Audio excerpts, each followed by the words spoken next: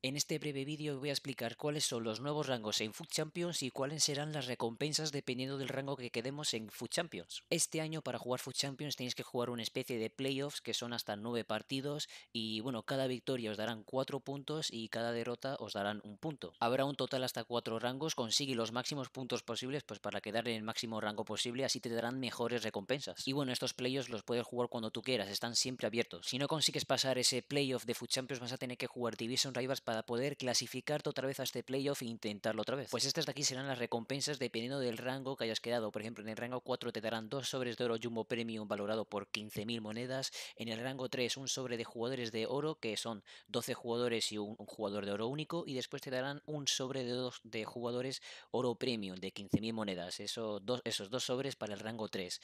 En el rango 2 eh, te darán lo mismo que en el rango 3, pero los sobres serán dos. Y entonces en el rango 1 te darán un mega sobre, dos sobres de oro único, que son de 15.000 monedas esos dos sobres, y un sobre de oro jumbo. Ahora vamos a lo que viene siendo Food Champions como tal, los partidos que vas a tener que jugar en fin de semana. Recordar, eh, han bajado los partidos a 20 partidos en vez de 30, pues estáis viendo los rangos, hay hasta un total de 6 rangos y los rangos se consiguen a través de puntos. Eh, recuerdo, recuerdo eh, por cada victoria son 4 puntos y por cada derrota 1, así que vamos a tener que hacer pues a veces combinaciones, ¿no? Para conseguir un rango, por ejemplo en el rango 5 podemos ganar cuatro partidos y después eh, perder dos, eh, perder cuatro, perdón, así serían 20 puntos. Es como, hay que seguir matemáticas, ¿no? Básicamente hay que ver distintas combinaciones y bueno, esos serán los rangos y los puntos necesarios para alcanzar ese rango. Ahora vamos a las recompensas de cada rango. Estas de aquí serían las recompensas del rango 6, el peor rango de todos. Como veis, Player Picks, 5.000 eh, monedas, ese sería el rango número 6. El rango número 5, en vez de un Player Pick de 1 a 3 jugadores, esta vez te dan dos Player Picks. lo que pasa es que no parece que te dan monedas, pero bueno, seguramente te den monedas porque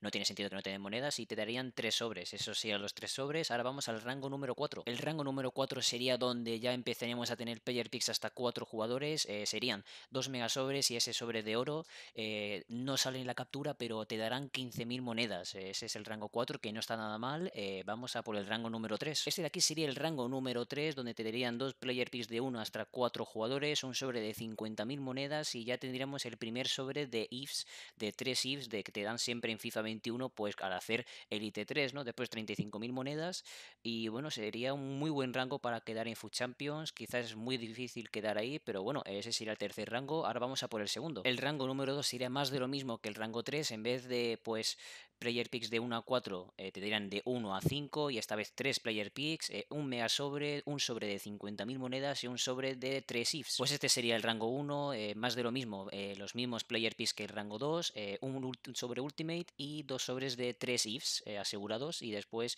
105.000 monedas. Pues eso de ahí sería todo lo nuevo de Food Champions, los rangos y los sobres nuevos y las recompensas. espero que os haya gustado, eso es todo por mi vídeo. Decidme en los comentarios cuál creéis que va a ser el rango más visto ¿no? Yo creo que estará entre el 4 y el tercero, porque después ya el segundo y el primero, pues bueno, vamos a dejarlo ahí como que eso sería como Elite 2, Elite 1 y Elite 3 de FIFA 21. Y bueno, eso ya todo por mi parte y nos vemos en el siguiente vídeo. Adiós.